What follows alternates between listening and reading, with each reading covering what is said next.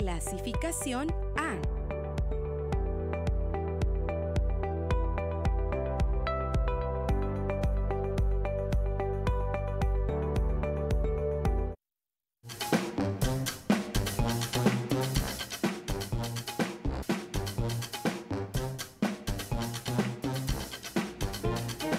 Chicos, bienvenidos sean a Escuela TV, un nuevo programa para estar con todos ustedes. Estamos en el segundo ciclo, tercer y cuarto año de primaria. Ya saben, su programa preferido. Y bueno chicos, el día de hoy tenemos algunas materias muy interesantes para todos ustedes porque estaremos viendo, ya sabes, español, matemáticas por dos veces las materias muy importantes para el desarrollo académico que tienes. Y bueno, aquí en pantalla te podemos presentar lo que vas a ver en matemáticas el día de hoy. Y para matemáticas tenemos el tema, el grado del ángulo. Muy bien, para que lo vayas identificando. Y el aprendizaje esperado es identifica ángulos mayores o menores que un ángulo recto. Además, utiliza el transportador para medir ángulos. Muy bien, y aprovechamos también para saludar a todos los chicos que nos están escuchando, que nos están viendo ahí por televisión o algún dispositivo móvil. Y bueno, continuaremos la clase el día de hoy con la materia de matemáticas y los materiales que vas a necesitar libreta, lápiz, colores y algo bien importante, un transportador. Este pequeño material o instrumento de medición lo vamos a ver más adelante. Te estarás preguntando, pero maestro, no sé qué es un transportador. Probablemente lo he visto, pero no sé para qué sirve. Y no te estreses, no te preocupes, porque el día de hoy vas a saber cómo funciona este instrumento de medición. Tenemos la adivinanza, la adivina la palabra del día de hoy. Cuatro imágenes, una palabra y te las voy a empezar a describir. Tenemos como primera imagen un abanico que se está abriendo. Bien, tienes que ir observando muy bien qué es lo que pasa entre esas aperturas que tiene este abanico. También tenemos, ah, vean ahí el transportador. Una persona lo está utilizando pero está haciendo algo con él. Está rectificando unas líneas ahí hay unos números. Ok, pasamos al segundo. Ah, mira nada más. Este ya lo conoces. Mide 90 grados, pero ¿qué estará observando? ¿Qué estará analizando? ¿Qué estarán haciendo ahí? Y por último, vemos un reloj y en el reloj hay unas mediciones. Además, dice 360 grados. ¿Qué te estará diciendo este 360 grados? No vamos a ver las manecillas del reloj, pero el reloj nos va a servir como apoyo para esta clase que tenemos el día de hoy. La letra con la que inicia la palabra que estamos buscando es la letra A. Y quiero felicitar obviamente a Ixel, Brian, Erika, Tania, Mónica, muy bien, Fernando, que nos están dando la respuesta el día de hoy de Adivina la Palabra. Excelente, chicos. Ya están ahí preparados porque con esta palabra vamos a iniciar lo que hoy aprenderemos. Y hoy aprenderemos dos cosas muy simples.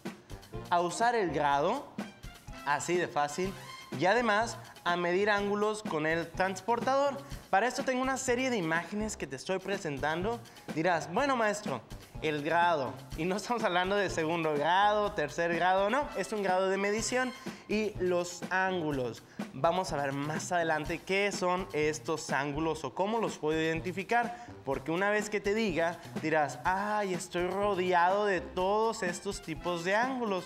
Y como ejemplos tengo aquí dos aperturas, el transportador unas tijeras, una libreta, una laptop, una mesa, una silla y una puerta, pero todas tienen aspectos similares. Y voy a continuar la clase con lo que ya te sabes.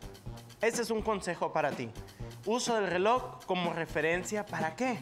Para poder medir estos grados o ángulos. Si bien conoces que el reloj tiene las 12 horas, pero juntos forman un círculo. El reloj es un círculo. Y cuando hablamos de grados y ángulos, siempre tomamos un círculo como referencia para decir que tienen 360 grados. Y no, no te preocupes. ¿Cómo es esto? Es muy simple. Si yo me estoy ubicado en un lado de este círculo, puedo decir... Si yo estoy ubicado en un lado de este círculo, puedo decir que es muy simple para ti porque lo podemos estar ahí ubicando. Y para esto, chicos, lo tenemos de nuevo ahí en pantalla para que lo puedan observar.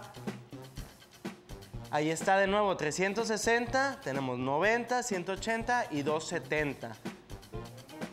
Listo, muy bien.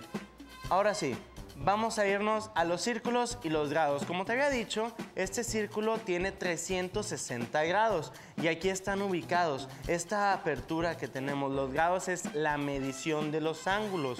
Y ahí está, lo tenemos representado y desde el lado derecho podemos decir que aquí se presenta se presenta de nuevo, se presenta de nuevo estos grados. Aquí si quieren ponerlo aquí en pantalla, por favor, abrimos la toma. Aquí del lado derecho podemos decir que está 0 grados, que es donde inicia. Y si yo voy abriendo este ángulo, se va abriendo hasta los 360. Es como cuando das una vuelta completa para que lo puedas identificar. Y esta vuelta completa pues es muy práctica para todos nosotros por el simple hecho de que me ubica en los grados que se encuentran. Y ahora sí, el símbolo de grado es un pequeño círculo en la parte superior. Se usa un pequeño círculo después del número para indicar la cantidad de grados que está hecha esta apertura. Y ahí está. Vamos a avanzar a consejos para ubicarse mejor. Ya sabemos que dentro de un círculo hay 360 grados porque es la vuelta completa, pero vamos a verlo con el reloj, que es mucho más fácil. Y aprovecho la oportunidad para darle la bienvenida a la maestra Keila. Maestra, bienvenida sea usted. Muchas gracias, profe. Y bueno, pues ya estamos viendo que la clase de matemáticas está muy interesante. ¿Y qué más es lo que vamos a aprender, profe? Claro que sí. Seguimos aquí con los consejos para ubicarse mejor. Y en estos consejos tenemos que decirte que el círculo tiene los 360 grados que observamos aquí en pantalla. Bien, esto hablamos de una vuelta. Pero ¿por qué el uso del reloj me va a servir? Bien fácil. Podemos dividir este círculo en cuartos o este reloj puede estar dividido también. ¿Qué es esto? Cuando yo lo divido, puedo decir que estos 360 se pueden dividir en esta parte en 4. Y puedes recordar el reloj donde tenemos todos los números. Podemos decir que un cuarto son 90, dos cuartos 180, tres cuartos 270 y los cuatro cuartos sería la vuelta completa. Esto te va a servir para que lo puedas ubicar más adelante. Y ahora sí, nos vamos a ir a los ángulos y sus características. Maestra, ¿qué tienen en común las siguientes imágenes? ¿Las podemos empezar a describir? Claro, ahí tenemos unas tijeras, las cuales pues las tengo así abiertas y si se fijan los niños después están haciendo algo en la abertura que sería un ángulo, que es lo que estamos trabajando el día de hoy, ¿verdad? Después tenemos una libreta, si te fijas está señalando ahí también un ángulo, la distancia entre las líneas rojas. Igual con la computadora, bueno, la laptop, la puerta, la mesa y la silla. Estos ejemplos prácticos los pusimos para que tú puedas empezar a analizar todo lo que te rodea. Probablemente ya estás diciendo, ah, la esquina de la puerta que está en mi casa tiene un ángulo o inclusive el televisor en el que estoy viendo Escuela TV también forma un ángulo. ¿Por qué? Porque vamos a empezar a hablar sobre los ángulos y sus características de esta forma. Puedo decir que con una línea se puede empezar a realizar un ángulo, pero una línea sola la tengo que abrir un poco y es esa apertura que tenemos de ambas líneas. En esta apertura podemos decir ya algunas características, maestra. Tenemos ¿Cuáles son las características de este pequeño ángulo? ¿Cuáles son sus partes? Bueno, pues ahí estamos viendo que tenemos los lados y vértice. El vértice va a ser la unión de esas dos líneas. Acuérdese muy bien, nuestra. Habíamos visto el vértice las clases pasadas con el dado que decíamos que eran las esquinas. Bueno, por eso lo vimos primero para poderte explicar ahora los ángulos. Bien, ahí está. Y en el centro, en la apertura, se forma el ángulo. Este ángulo se mide con los grados y vamos a avanzar ¿de dónde vienen los ángulos? Entonces sería una pregunta de reflexión. ¿De dónde vienen los ángulos? Pues obviamente de la apertura de dos líneas o dos lados. Vamos a poner un ejemplo claro. Vamos a irnos a el transportador. ¿Cómo se mide un ángulo, maestra, con él? Con el transportador, el cual pues todos tienen en su juego de geometría. Ah, bien. Y desaparecimos ahí las características y tenemos el transportador. El transportador puede verse de esta manera. Escala interior, que es lo que está dentro. Escala exterior, los números de afuera, los grados. El cero, tenemos dos partes donde inicia el cero. El centro y el borde. Nosotros tenemos que colocar el vértice justo en el centro. Y aquí tenemos un ejemplo claro. Vamos a ver acá. ¿Cómo se usa? Vamos a usar este transportador. Vean, lo tenemos acá, sus características. Lo voy a ubicar justo en el centro del vértice. Y voy a tomar la apertura. Empiezo en el cero y vean cómo este ángulo se va abriendo hasta llegar al 40, que son 40 grados. Entonces, yo podría decir que ese medía 40 grados. Vamos a poner dos ejemplos prácticos aquí que tenemos que nos pueden estar ayudando en zona de comentarios. ¿Cómo son estos? A practicar, chicos.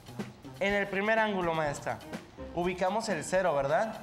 ¿Y hasta dónde nos vamos a abrir? Vamos a ir contando. Contamos ahí los grados. Tenemos 10, 20, 30, 40, 50, 60, 70, 80. ¿Y llegamos al, maestra? Al 90. Al 90, muy bien. Entonces, si hemos llegado al 90, ¿cuánto mide el ángulo superior, maestra? El ángulo de arriba, ¿cuánto mide? 90 grados, exactamente. Y el de abajo, maestra, empezamos de nuevo al cero y nos vamos a abrir hasta dónde? Hasta el 60. Creo que aquí es importante lo que usted acaba de mencionar, profe, que siempre deben de considerar como punto de partida el cero y hasta dónde llega, para que no confundan las eh, graduaciones del transportador. Así es, y aquí podemos llegar del cero hasta el 160. Y el 160 sería la medida de este ángulo, chicos. Muy bien, ya dijimos. Y la palabra que estábamos buscando era ángulos. Y con esto, chicos, nos despedimos. Aprendiste el uso del grado como unidad de medida y además el uso del transportador. Chicos, Bueno, nos vamos a ir a un corte, niños, pero vayan por favor preparando su celular porque en la siguiente clase vamos a empezar con el Kahoot casi casi desde un principio. Así es que por favor vayan preparando su celular.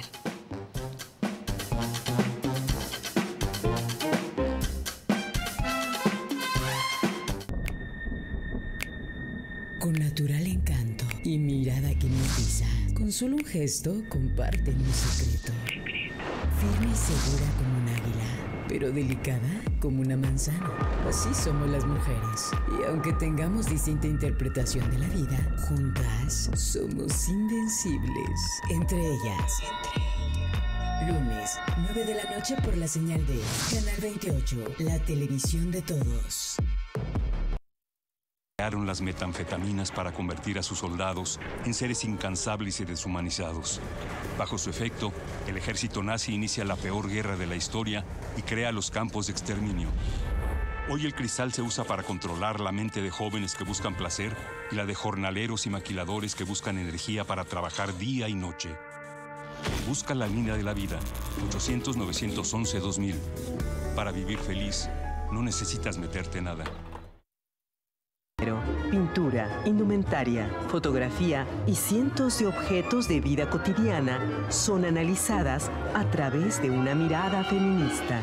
En conjunto con Radio Nuevo León, el concierto inaugural Nosotras Sonamos. Más de 60 músicas conmemorando el Día Internacional de la Eliminación de la Violencia contra la Mujer. Noviembre 25.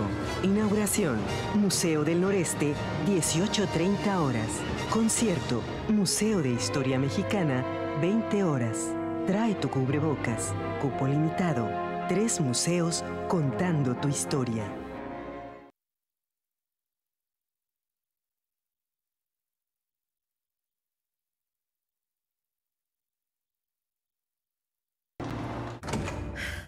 Vino por mí una amiga de la escuela. ¿Eres capaz de dejarme así de fácil? No tenía intención de ayudar. Pero eso fue lo que hiciste. Y también ayudaste a Hishikawa.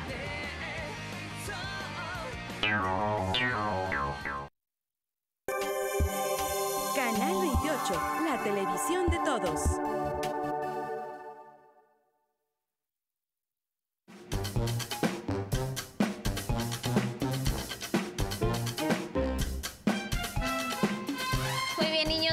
De regreso y pues te había comentado que por favor prepararas tu celular. Te vamos a pasar de una vez el código de Kahoot que inmediatamente se, pro- se proyecta en pantalla. Es el 744118. Va de nuevo. El código es 744118. Ok, si alguien nos puede ayudar para que lo vayan anotando en zona de comentarios, porque casi toda la clase la vamos a hacer con el Kahoot, ¿ok? Entonces va una vez más, 744118. Y pues bueno, el tema del día de hoy es uno muy interesante que se trata de, vamos a ver inmediatamente, en la cocina con, y pues bueno, si es en la cocina con, ¿qué crees que se vaya a realizar el día de hoy? Muy bien, vamos a elaborar un recetario. Es el aprendizaje esperado. Ok, y pues bueno, los materiales que vas a necesitar va a ser tu libro de español tercer y cuarto grado. Como referencia lo vas a encontrar en... Tercer año en la página 80 y en cuarto grado, página 84. Y bueno, pues ya sabes que tu celular para poder participar en Kahoot. Y bueno, ahí tenemos unas imágenes para que adivines las palabras. En la primera imagen tenemos, ahí dice receta familiar. Y pues una serie de líneas para que anoten algo, igual a un lado. En la parte de abajo, que estaríamos abajo viendo? Tenemos, ah, unos menús que se utilizan ahí como quiera para, pues en la cocina puede ser. Ahí me están dando algunas imágenes. Y esto, ah, ya vi, es una serie de pasos que se utiliza para preparar la comida que se muestra a la imagen que está al lado derecho.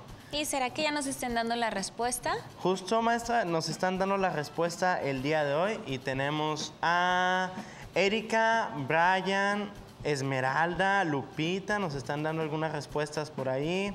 También tenemos la participación de Patty.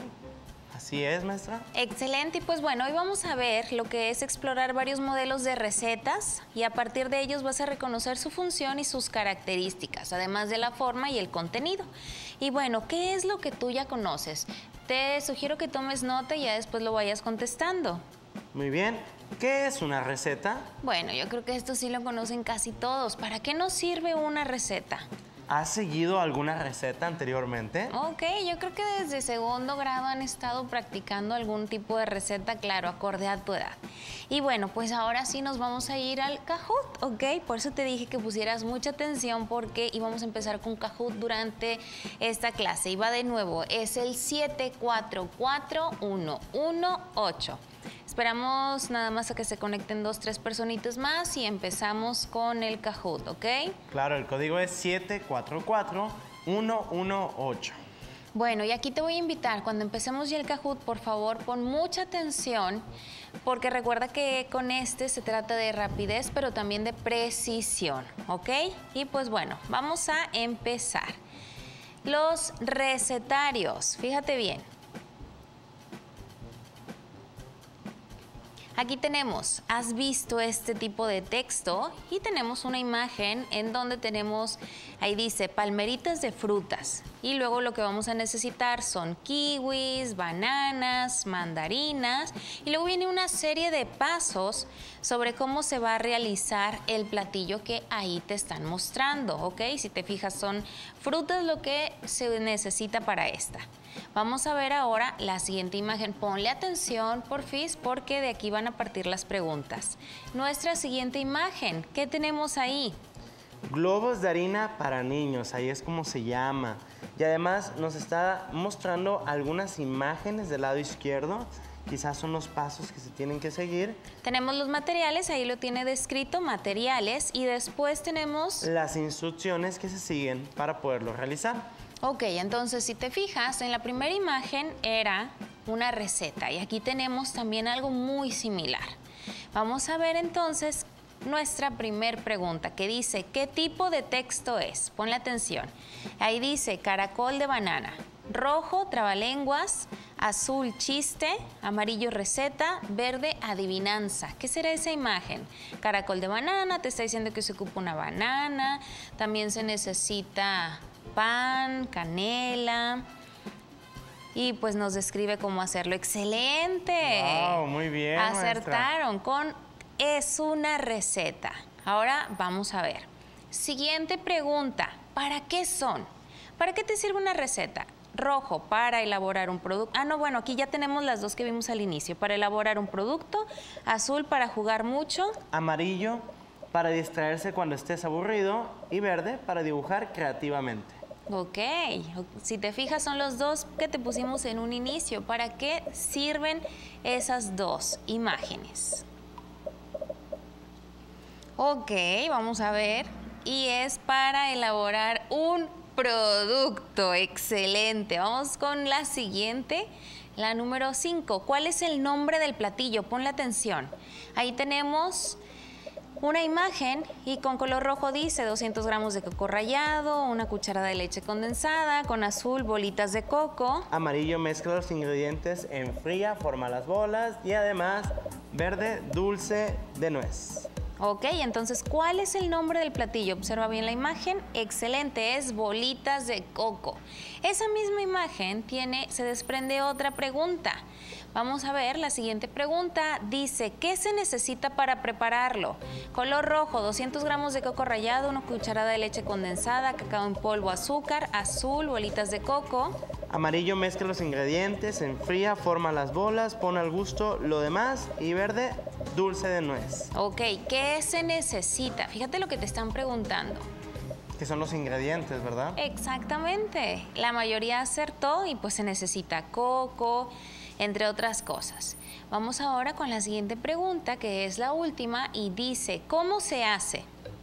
Color rojo, ya sabes, 200 gramos de color ro- de coco rallado, leche condensada, etcétera. Azul, bolitas de coco. Amarillo mezcla los ingredientes, enfría, forma las bolas, pone el gusto, lo demás. Y además, verde es dulce de nuez. Ok, ¿cómo se hace? Fíjate lo que te está preguntando. Excelente, mezcla los ingredientes, se enfría, forma las bolas, ¿ok? Y vamos a ver, entonces en este tema de los recetarios, tercer lugar, Magic Emu. Segundo, Captain Lemur. Y el primero muestra quién será. Vamos a ver, Rational Gnu. Gnu. ¿Mm? Así es nuestra. Ok. Si te fijas, aquí empezamos ahorita un poquito diferente nuestra clase y ahora vamos a ver en qué se parecen estas dos imágenes. Lo vimos en el Kahoot. Dime en qué crees que se parezcan. Fíjate bien, uno es para preparar un alimento y el otro para qué es. Estamos preparando pues un material, estamos haciendo un producto. Estamos elaborando un producto. ¿En qué se parecen? Bueno, pues ambos tienen un título. Uno es palmeritas de fruta y el otro dice globos de harina para niños. ¿En qué otra cosa se parecen? Además que tienen los materiales, bueno, en una son los materiales y en el otro dice ingredientes, pero ambos te está diciendo lo que vas a necesitar para preparar el producto o la receta. Excelente. Y bueno, ¿en qué otra cosa se parecen? En que en la preparación de la receta te va diciendo paso a paso qué es lo que tienes que hacer y en las instrucciones del globo de harina también te va describiendo paso a paso qué es lo que tienes que hacer, ¿ok? Bueno, ya viste en qué se parecen. De preferencia ve anotando en tu libreta. Y ahora vamos a ver la siguiente pregunta. ¿En qué son diferentes cada uno de estos tipos de texto? Ok, ya vimos las similitudes. Ahora vamos a ver las diferencias. Una de ellas, a ver si en zona de comentarios nos están poniendo algo de a ver en qué son diferentes. Fíjate bien. bien. la diferencia es, uno es una receta, por lo tanto, se están utilizando alimentos para prepararlo. ¿Y el otro qué sería? El otro es un producto, por eso se están utilizando materiales, haciendo diferente pues la receta, como usted lo dice, de comida y el producto algunos materiales básicos. Ok, entonces si te fijas, la diferencia es que las recetas generalmente son con alimentos y entonces para elaborar un producto no estoy preparando un... No estoy preparando un alimento, estoy preparando un producto. Así como lo dice Erika Salinas Alvarado, nos menciona que en uno es comida y el otro son manualidades. Excelente. Ya aquí vemos la gran diferencia entre unos y otros. Ahora bien, antes de que nos vayamos al corte, sí te vamos a pedir, por favor, si tú puedes ir preparando este, lo que es el material para hacer las, eh, los globos de harina. ¿Qué son los materiales que vas a necesitar? Esto lo puedes ir preparando en casa, que necesitas un globo, este, del tamaño que consideres entre más chiquito mejor, porque además te va a ayudar para como una bolita antiestrés. ¿Qué más van a necesitar, profe? También van a necesitar, obviamente, harina. Ok, la harina es lo que va a hacer que se sienta suave por dentro, ¿de acuerdo? Entonces, globo del color que tú prefieras. Harina, ya serían dos cosas. ¿Qué otra cosa vamos a necesitar, profe? Ahí vemos que son tijeras y es un embudo, ¿verdad, maestra? Para poder introducir la harina dentro del globo. Si no tienen un este, embudo, pudieran vaciarlo o irlo llenando poco a poco con, con la mano. Y bueno, ya una vez que hayas llenado tu, tu globito, lo vas, le vas a hacer un nudo, lo vas a cerrar. ¿Y qué es lo último que van a necesitar, profe? Quizá algo para decorarlo, maestra. Ahí tiene unos ojos, ¿no? Exactamente. Pero si no tuvieran ojitos en casa, ¿qué pudieran hacer? Con un marcador los pueden hacer. Exactamente, entonces en casa puedes decorarlo y una vez que lo hayas hecho le tomas fotos y nos lo mandas a dónde, profe?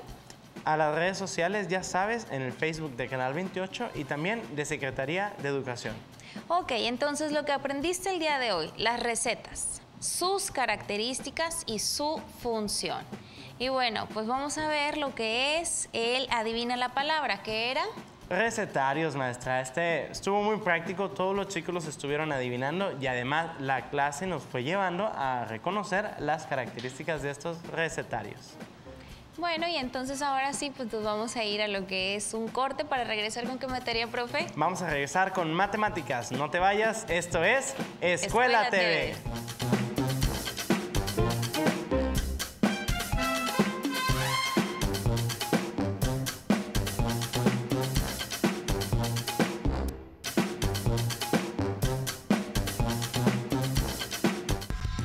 Nos reunimos entre amigos para generar una pausa, para disfrutar de lo cotidiano que permite la vida. DEPA 28, martes y domingo, 9 de la noche. Canal 28, la televisión de todos.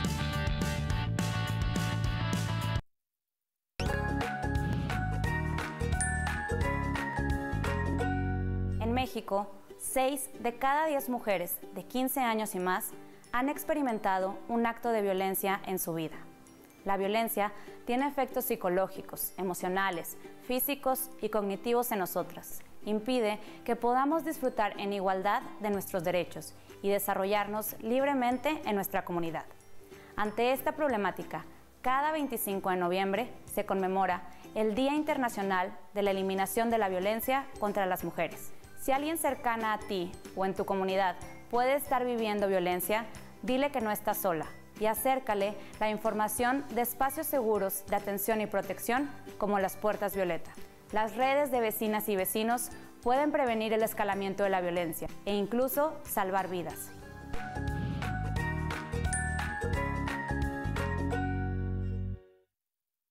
de Soma están profundamente conectadas a los caballos.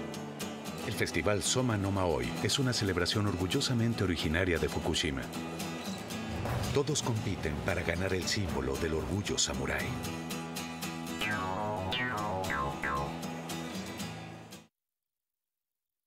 Canal 28, la televisión de todos. Clasificación A.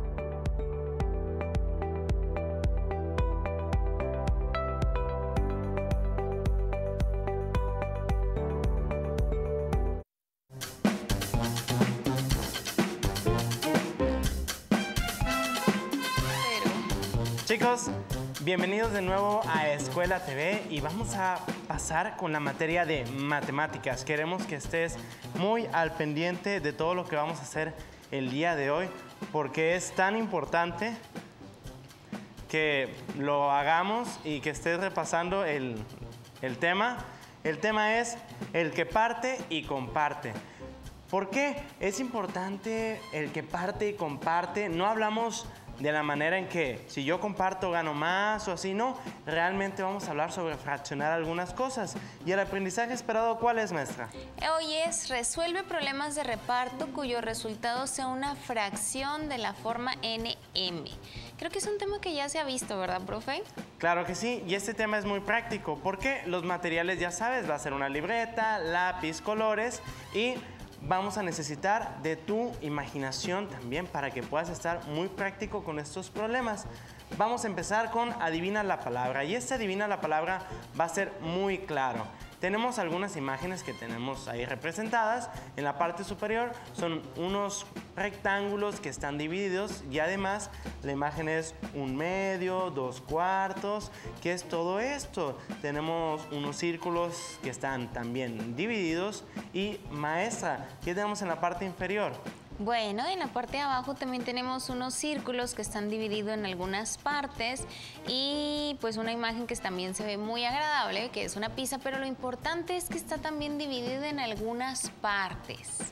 Bien, la palabra inicia con la letra F para que estén ahí participando en la zona de comentarios y nos puedan decir inclusive la respuesta que tenemos acá.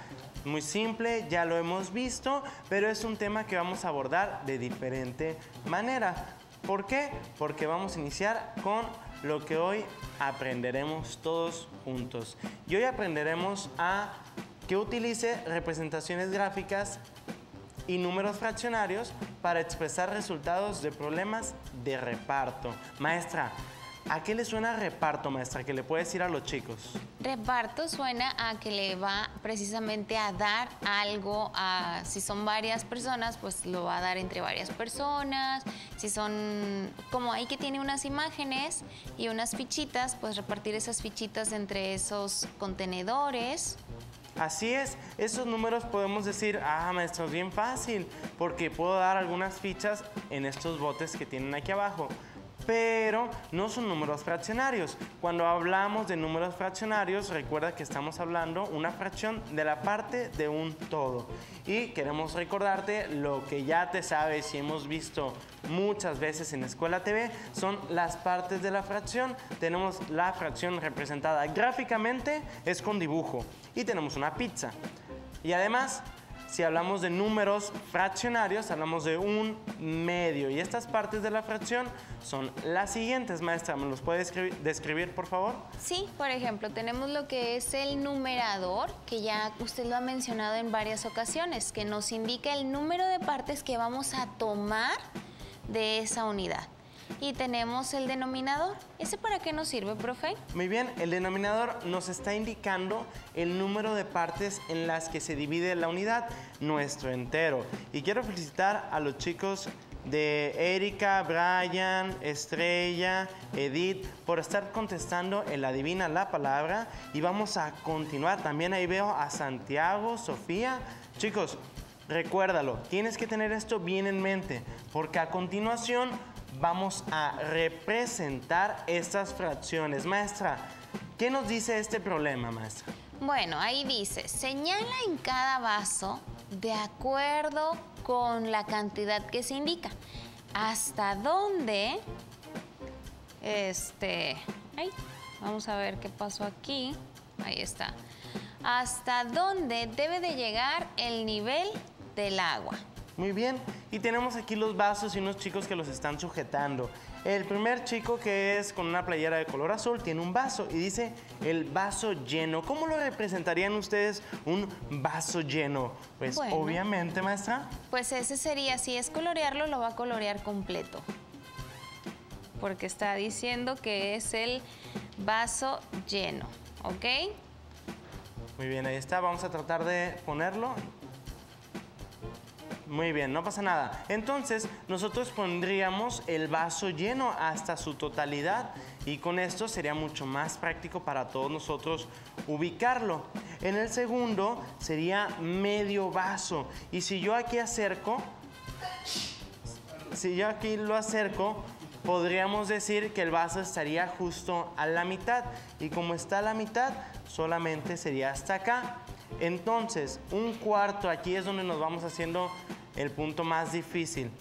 Yo digo que es un cuarto. Este vaso, maestra, ¿en cuántas partes la tengo que dividir?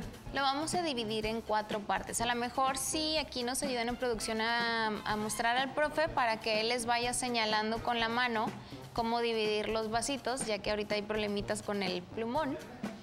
Muy bien. Entonces, aquí lo vamos a estar viendo. Si lo podemos acercar directo de pantalla, podemos decir que un cuarto lo tendría que dividir en cuatro, divido mitad, mitad y mitad, y ahí es donde puedo ubicar el un cuarto. Y en el último es un octavo. Y este octavo, recuerda, para sacar los octavos es mitad ya son medios, mitad y mitad ya son cuartos, cuartos. Y mitad de cada uno de ellos se vuelven octavos. Estaría una parte muy pequeña. Pero bueno, aquí Comencemos iluminando lo que se indica. Vamos a empezar con este proceso. Vamos a irnos, maestra. Número uno, iluminemos un medio del rectángulo. Ah, esto está bien fácil, maestra. ¿Por qué? Solamente mi rectángulo lo voy a dividir a la mitad y voy a poner un medio. Así de fácil. Y luego, con el cuadrado, Cuadrado. será un cuarto. Yo tengo que ubicar un cuarto del cuadrado y ahí está un cuarto del cuadrado. Y con este un cuarto me voy a ir ubicando al círculo y del círculo tendría que ser un octavo. Ok, y después tenemos, como dijo, el círculo, ¿verdad, profe? Muy bien, el círculo. Y de este círculo sería un octavo. Lo puedo estar ahí viendo para poderlo estar representando. Y este octavo, recuerda, el círculo lo tenemos que dividir a la mitad, después sacamos los el cuartos y me voy mitad de cada uno de ellos. Y solamente voy a iluminar un cuarto, de, un octavo, perdón, de este círculo. Así es como empiezo a identificar la parte de la división de las fracciones. Pero bueno, aún no llegamos al reparto. Aún no llegamos al reparto. Vamos a irnos directo a poder repartir un poco lo que esperamos. Y con esto vamos a ir, un ejemplo, si yo digo que quiero repartir alguna, algún chocolate, alguna mm, cartulina, tengo que empezar a analizar la cantidad de alumnos que se tienen. Y ahora sí, lo tenemos aquí en pantalla. Y en pantalla lo podemos observar para ver. Maestra, ¿me puede leer el problema, por favor? Claro, dice, se repartirá una cartulina entre dos alumnos. Incluso ahí tenemos la imagen. Y dice, de manera que le toque lo mismo y que no sobre. ¿Cuánto le toca a cada uno? Bien, ¿Ok? maestra. Muchas gracias. Entonces, tengo aquí la cartulina. Y esta cartulina, muchas gracias también a todos los que nos están participando en redes sociales. Esta cartulina me dice que la tengo que repartir entre dos alumnos. Fácil. Esta respuesta es muy simple. Vamos a ir avanzando en la complejidad de los problemas. Maestra, esta cartulina, ¿cuántos alumnos hay? Son dos y la vamos a repartir entre esos dos. Ah, pues bien fácil. Ustedes dicen, pues solamente la divido a la mitad. Muy bien, ahí está, la divido a la mitad. Y yo puedo decir que esto, esta parte de aquí, es un, porque solamente es uno, medio de dos. Y esta parte de acá abajo se vuelve un medio. Ahora sí, imagínense maestra, un alumno toma una parte y otro alumno toma otra parte. Con esto puedo decir, así como lo está diciendo Erika, Noemí, que la respuesta sería que a cada uno le toca, ¿qué maestra? Le va a tocar un medio de esa cartulina. Bien, un medio de la cartulina. Y si avanzamos ahora al siguiente problema, les vamos a decir un consejo. Aquí viene el consejo más práctico de reparto de fracciones. Y con esto no van a batallar. Vamos a ver, maestra. El problema me dice, se van a repartir tres cartulinas. Y ahora sí, se repartirán tres cartulinas. Lo voy a subrayar, maestra, porque es importante.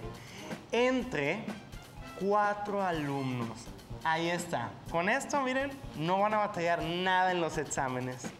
De manera que le toque lo mismo y que no sobre. ¿Cuál es la pregunta, maestra? ¿Cuánto le toca a cada uno? Ok, Va primero de la manera fácil o difícil, maestra. ¿Cuál quiere primero? Mm, yo creo que la, la difícil. La difícil primero. Ok, vamos a irnos con la difícil. Si decimos que es la difícil, ok, vamos a decir esto. Tengo tres cartulinas y cuatro alumnos y hay que repartirlo. Pues cada cartulina, maestra, la voy a dividir entre el número de alumnos. Entre cuatro, entonces. Entre cuatro. Entonces, una cartulina la divido en cuatro. Posteriormente, haría lo mismo en cada cartulina. Dividirla en cuatro. Y un alumno, vamos a basarnos en este de aquí, tomaría un, pedazo de esa un pedazo, otro pedazo y otro pedazo. Entonces tendría tres cuartos, porque son tres cartulinas. Tendría tres cuartos cada uno de ellos. Pero la respuesta es mucho más fácil, porque aquí dijimos que tendrían tres, tres cuartos. Bien, pero vamos a irnos, maestra, a la manera fácil. Y con esto no van a batallar. ¿Cuántas cartulinas eran, maestra? Eran tres. Tres. Eran tres cartulinas, ¿ok? ¿Y cuántos alumnos eran? Cuatro alumnos. Ahí está, mire, maestra. Tres cartulinas y cada cartulina la dividimos en... En cuatro. Ahí está. Esa sería la respuesta. La manera más fácil de resolverlo. Tres cuartos.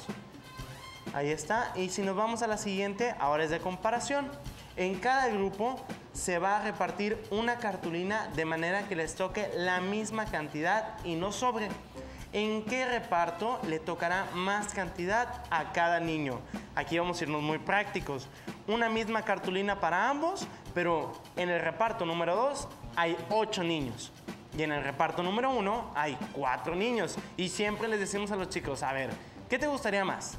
¿Comprar una pizza y que se reparta entre 8 o nada más entre 4? Mm, pues yo creo que ahí la respuesta es muy sencilla. Entre menos niños, más grande va a ser el pedazo de la cartulina que van a tener. Exacto, entonces, ¿a quién le va a tocar más? ¿En qué reparto le tocará más? Le va a tocar, obviamente, mucho más pedazo de cartulina al reparto número uno. Es la misma cartulina y son menos estudiantes, maestra. Muy bien. Y con esto ya estamos dando por terminada la clase del día de hoy. Empezamos a analizar un poco las fracciones, esta comparación de reparto y te dimos el tip más importante. ¿Cuánta cantidad tienes para repartir y cuántos son? Lo colocas en fracción y listo. Maestra, nos vamos a ir un corte y vamos a regresar. Esto es... Escuela TV.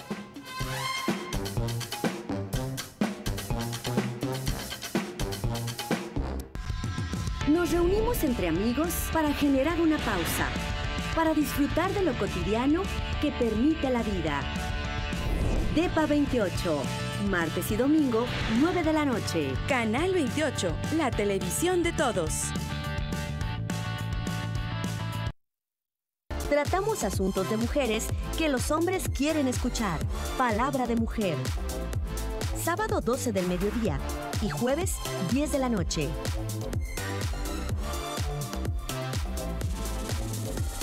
Por Canal 28. Pintura, indumentaria, fotografía y cientos de objetos de vida cotidiana son analizadas a través de una mirada feminista. En conjunto con Radio Nuevo León, el concierto inaugural Nosotras Sonamos. Más de 60 músicas conmemorando el Día Internacional de la Eliminación de la Violencia contra la Mujer. Noviembre 25. Inauguración. Museo del Noreste, 18.30 horas. Concierto. Museo de Historia Mexicana, 20 horas. Trae tu cubrebocas. Cupo limitado. Tres museos contando tu historia.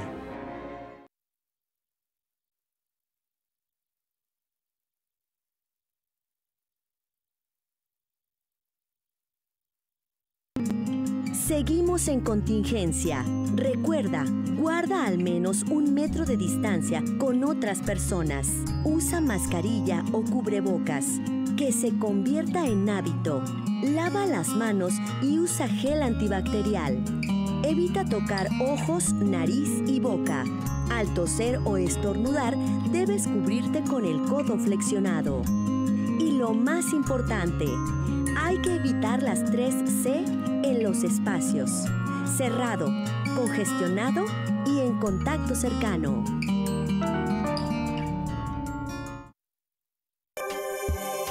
Canal 28, la televisión de todos.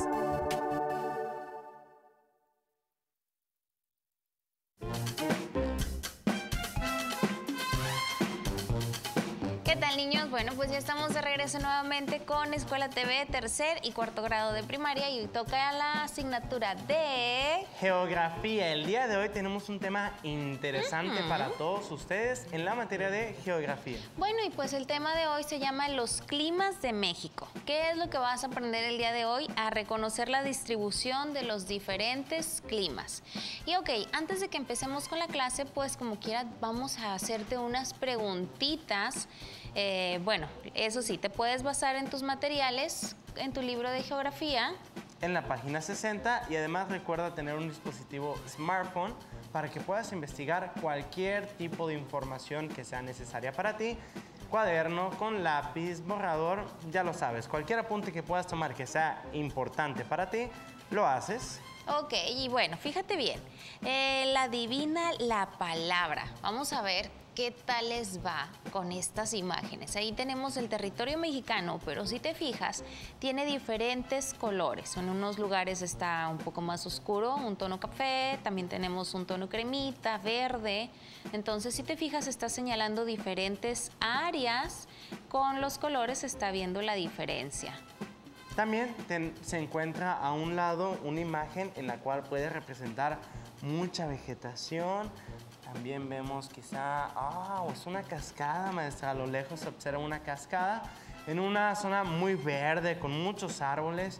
Y en la parte inferior es quizá todo lo contrario. No se ve tan verde, pero se observan montañas y algunos que serán como pastizales, ¿no? Así es, maestra. Muy seco se observa que hace mucho calor.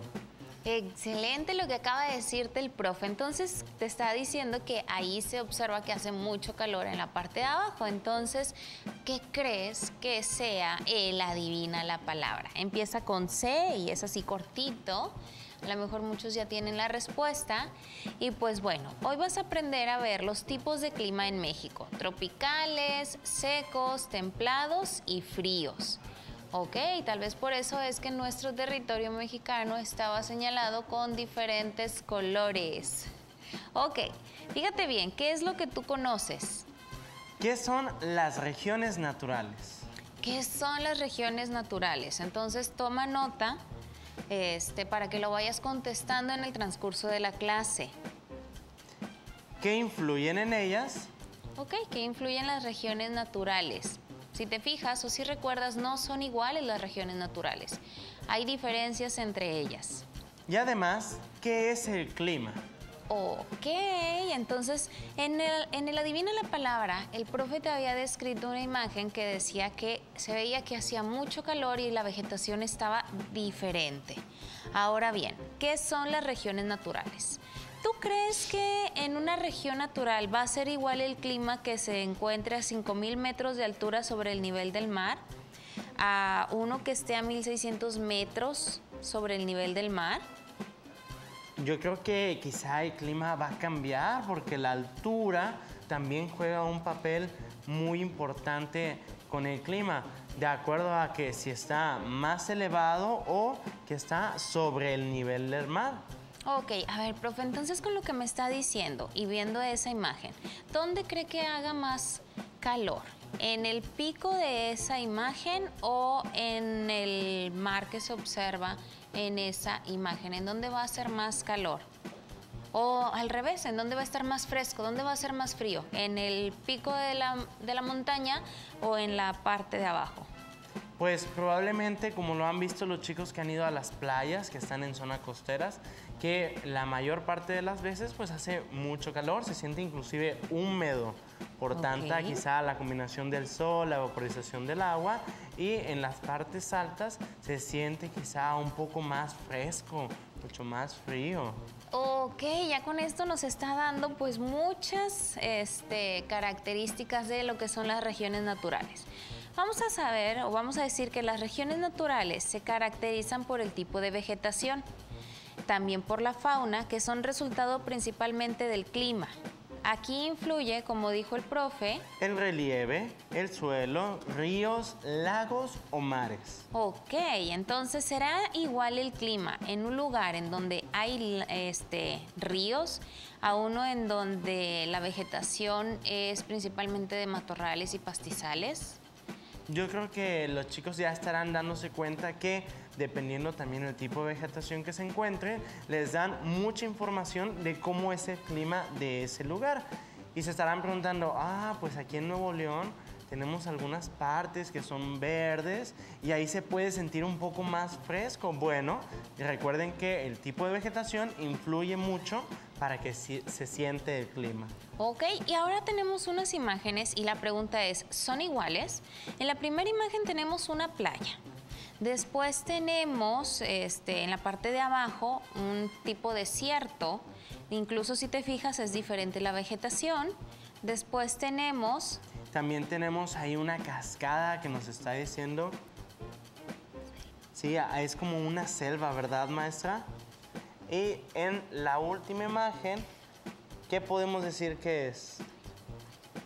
Muy bien, hay como un tipo valle que se encuentra, recuerda, habíamos visto los tipos de relieve y cuando se juntaban ahí la terminación de las montañas, probablemente se encontraban algunos ríos, lagos, puede llamarse como un valle. Ok, entonces si te fijas, ahí en donde tenemos el valle, que también hay un lago muy hermoso, la vegetación cambia.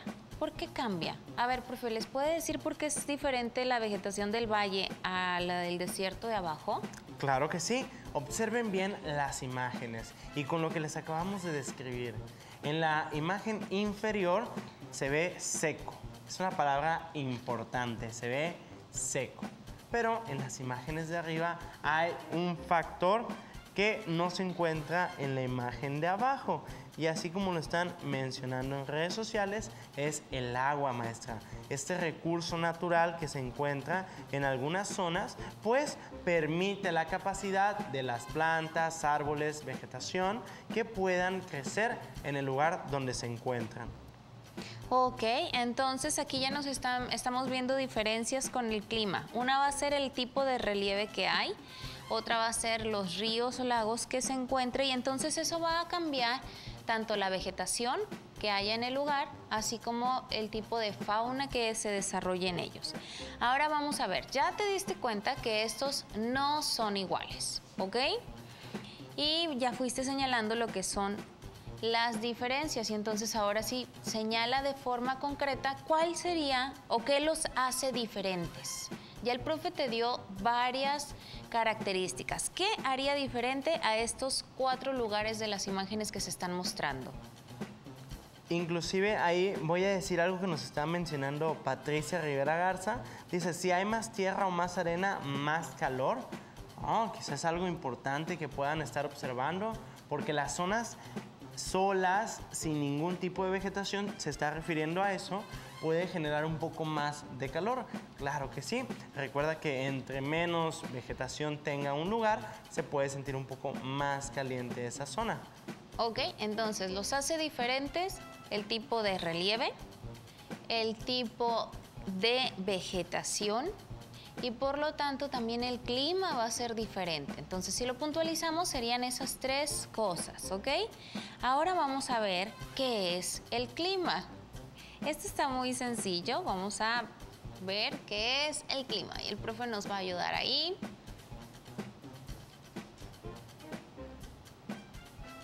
Muy bien, ahí lo tenemos, maestra. Primer pregunta. Los climas de México son... Inciso A, muy calientes. Inciso B, muy fríos. O C, diversos, secos en el norte, cálidos y húmedos en el sur y templados en el centro. Como lo habíamos visto en el mapa, eran muy, pero muy diversos. Entonces vamos a elegir el, el inciso C. Excelente. Siguiente bien, pregunta. La respuesta fue correcta. Y ya ahí pues también lo van viendo los niños, ¿ok? Vamos a ver la pregunta número dos. ¿Qué nos dice, maestra? Una región es un lugar dentro de un territorio. B. Espacio del territorio de un país que tiene características semejantes, ya sean naturales o sociales.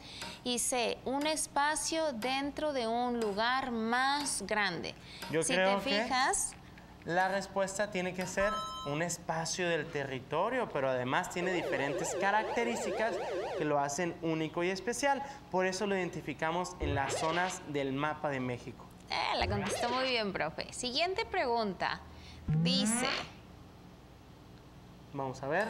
Al clima cálido húmedo le corresponde una vegeta- vegetación de tipo, inciso A, selva, inciso B, tundra o selva húmeda. Maestra, ¿cuál sería la respuesta de esta? bueno, pues yo creo que si me están hablando de un clima cálido húmedo, podría ser la selva húmeda. Vamos a ver ahí lo que nos están diciendo también en redes sociales. Vamos ¿Y en a redes sociales qué le dijeron? Nos dijeron el inciso C. Y chicos, ¿qué sería, maestra? Sería la selva, profe. Claro, no te, no te vayas con el factor que te están diciendo cálido húmedo para poner selva húmeda.